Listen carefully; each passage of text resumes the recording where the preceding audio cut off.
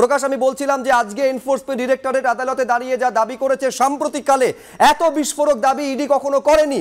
সব ফলে স্বভাবতই প্রশ্ন উঠছে, স্কুলে নিয়োগ দুর্নীতি হোক বা পুরসভায় এই যে নিয়োগ দুর্নীতি, পাঁচ হাজার জন, এই এত বড় দুর্নীতি নেটওয়ার্ক সিন্ডিকেট চলতো কীভাবে প্রকাশ?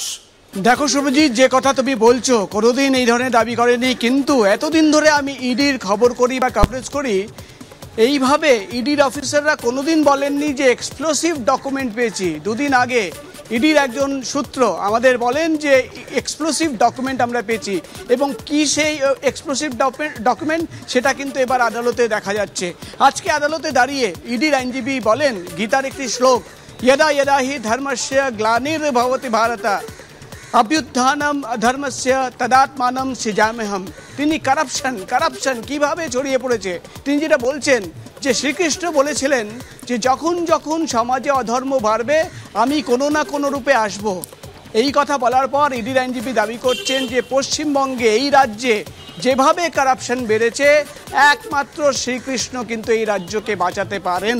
আমি তোমাকে ইডির আজকের যে রিমান্ড প্রেয়ার জমা দিয়েছেন তারা, তার পনেরো নম্বর পয়েন্ট একাধিক অভিযোগ এবং একাধিক তথ্য তারা কিন্তু পেশ করেছেন যেখানে ওএমআর থেকে শুরু করে কীভাবে টাকা তোলা হচ্ছে এবং কীভাবে মিউনিসিপ্যালিটিতে চাকরি হতো একাধিক তথ্য। কিন্তু এই সিজাল রিমান্ড পেয়ারের পনেরো নম্বর পয়েন্ট যদি দেখি এইখানে কিন্তু দেখা হচ্ছে যে যে অফিসে তল্লাশি চালানো হয়েছে সেই অফিসে একাধিক ইনক্রিমেন্টিং ডকুমেন্ট তারা পেয়েছেন এবং which are believed to be referred by Kuntal Ghosh, which are believed to be referred by Kuntal Ghosh for selection as various examinations and duly filled OMR sheets of candidates for examination of Mazdoor, typist, etc.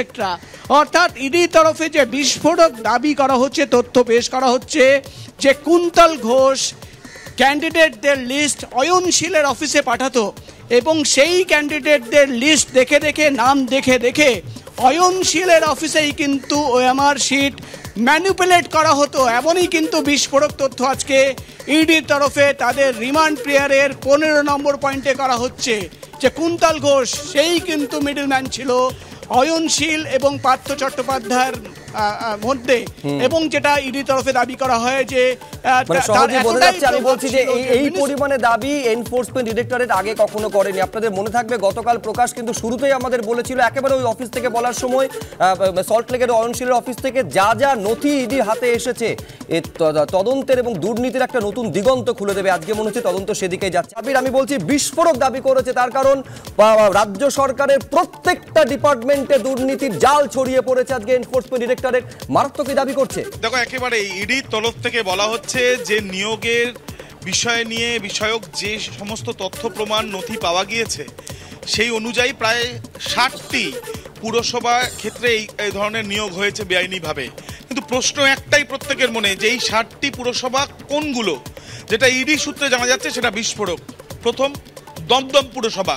দ্বিতীয়, উত্তর দমদম পুরসভা। তৃতীয়, দক্ষিণ দমদম পুরসভা। এছাড়াও পানিহাটি, কামারহাটি, হালিশহর এবং বরানগর। এই পুরসভাগুলো জানা যাচ্ছে যেগুলো নথি ইতিমধ্যে ইডির গোয়েন্দারা পেয়েছেন অয়নশীলের অফিস থেকে, যেখানে বেআইনিভাবে নিয়োগ হয়েছে। পরবর্তী পদক্ষেপ কি? পরবর্তী পদক্ষেপ ইডির এটাই যে তারা যেটা জানাচ্ছেন, এই পুরো বিষয়টি তারা আজকে আদালতে জানিয়েছেন। পিএমএলএ অ্যাক্টের সিক্সটি সিক্স ক্লস টু, সেই অ্যাক্ট অনুযায়ী তারা সিবিআই এর কাছে বিষয়টি জানাচ্ছেন এবং সিবিআই যদি কোনো কেস স্টার্ট করে, তাহলে সেই ক্ষেত্রে পরবর্তীকালে তারাও অর্থাৎ এনফোর্সমেন্ট ডিরেক্টরেটের তরফ থেকেও বিষয়টি তারা তদন্ত করে দেখতে চাইবেন। অর্থাৎ বোঝাই যাচ্ছে যে এই যে ষাটটি পুরসভা সেখানে প্রায় পাঁচ হাজারের মতন নিয়োগের কথা যেটা সামনে আসছে সেই ক্ষেত্রে যে অয়নশীলের অফিস থেকে যে নথি পাওয়া গিয়েছে সেই নথি কিন্তু চমকে দিয়েছে সেই এবং এই নথি বিচার মাননীয় বিচারকের কাছে দিয়ে একেবারে আপনাদের মনে থাকবে শান্তনু বন্দ্যোপাধ্যায়ের সময় যখন কেস ডায়েরি মাননীয় বিচারকের হাতে দেওয়া হয় তখন ইডি বলেছিল যে এখানে এমন কিছু তথ্য এবং এমন কিছু নাম রয়েছে তারা ভরা যেটা ভরা এজলাসে বলা সম্ভব নয়।